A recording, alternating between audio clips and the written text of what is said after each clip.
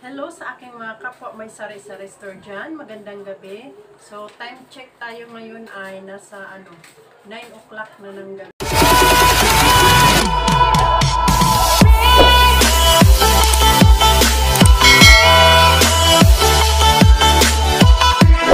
So, medyo-medyo paunti-unti na lang yung mga namimili.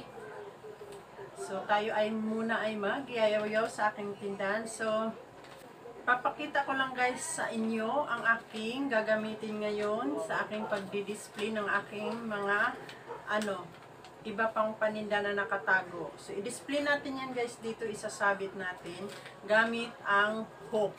So, ito yung binili ko guys, maliit na hook. Ayan, ang pangalan niyan ay ah cup hook. Cup hook, yung ganito guys.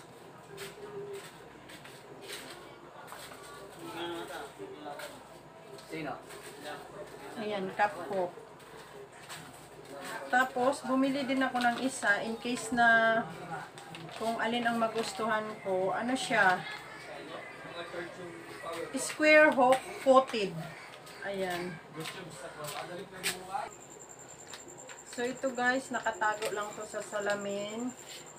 So, butasan natin to. Yung maliit lang na pambutas ito. Gamit natin to. Maliit lang to siya. So, dito natin isasabit. Yung cup hook na hindi coated, dito natin isasabit dyan. Tapos, ihiliran natin. Tapos, bumili din ako ng ganito. Hook stainless o stainless hook.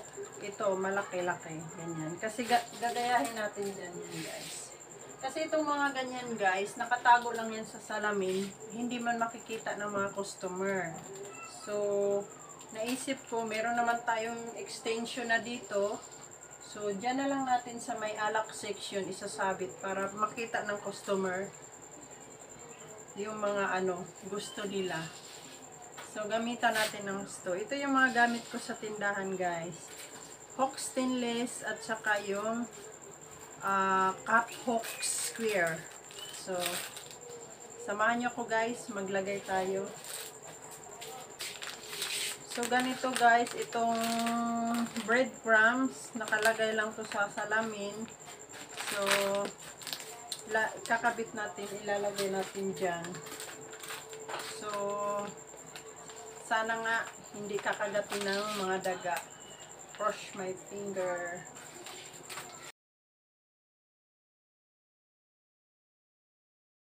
Yung mga tomato sauce, tomato paste, mga black beans, yung hands, pork and beans, yan. Sinabit na natin yan kasi nakatago lang yan doon sa salamin. Hindi makikita ng aking mga tumor.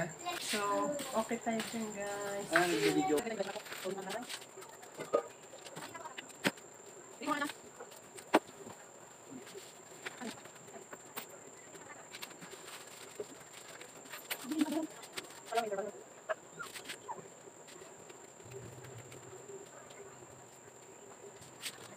Maganda kasi guys, kung ito na yung gagamitin nyo, oh, ganito, hindi na yung tamtax.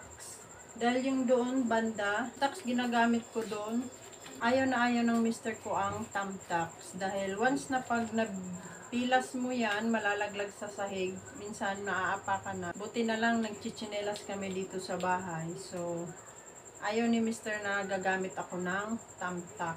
Na ano, area, ang gagamitin ko ay ito.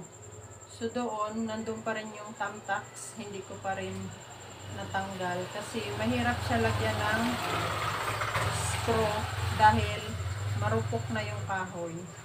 So dito, maganda lagyan. So lalagyan natin dito. Gamit itong screw.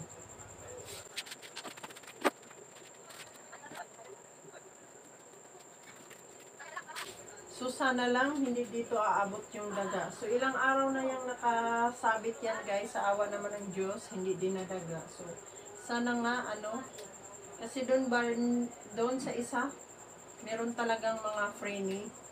So, dinadaga talaga doon. So, sana dito na area, walang daga. Kaya, ano, nakakasabit tayo. Ayan guys, bumili ng Hi ice guys, cream. bumili ice cream. Isa nga lang. Isa nga lang. Isa nga So, lang, yun, pero guys, ang pabalik-balik na sila.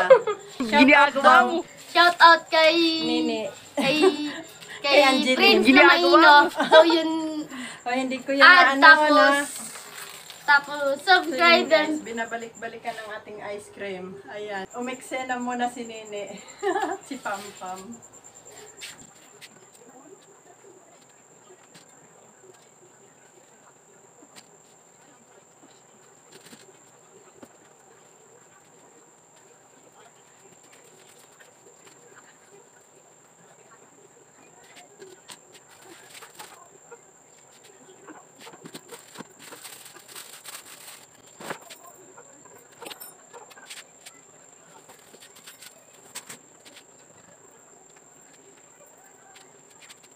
A few moments later.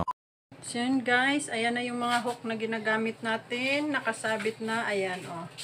Uniform na tingnan. 'Di ba Ang ganda tingnan guys. Tapos doon sa taas, nandun yung hook. Coated, coated hook. Sa taas naman, nandyan yung coated hook. Nilagay ko guys. Ayan, 'di ba Ang ganda na tingnan. Dito naman banda guys, nilagay ko yung pineapple tidbits. Sa baba naman yung mga 25 na grams na kape. So nilagay ko lang dito sa gilid guys yung mga hands, yung black beans, tsaka yung mga tomato paste.